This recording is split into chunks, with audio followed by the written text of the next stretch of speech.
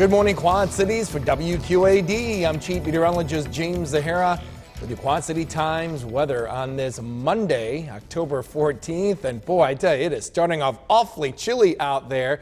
A lot of clear skies, very little wind, the air very nice and dry, compliments of that area of high pressure just around the upper right hand portion of your screen. That will dominate our weather today. That will give us our dry weather. There is a system just off to the left there and combined with that high will send in a southeast wind will allow temperatures to be very similar to yesterday.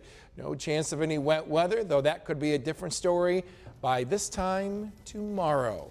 Yeah, starting off pretty chilly out there, but temperatures will recover. 59 degrees by noon should top out to a seasonal daytime high of 66 degrees.